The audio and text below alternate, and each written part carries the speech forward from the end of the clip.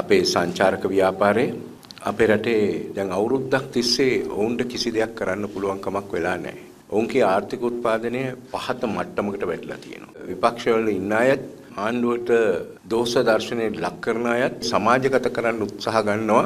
මරණ සංඛ්‍යාව වැඩි වෙනව නේද කියන එක. මේ අයට ඕන වෙලා තියෙනවා රට වහන්න. ඊට පස්සේ රටේ සල්ලි නැහැ රට ගෙනියන්න බෑ. අපිට ඕනේ කියලා කාලකන්ණි සතුටක් ලබන්න සූදානම් වෙලා තියෙනවා.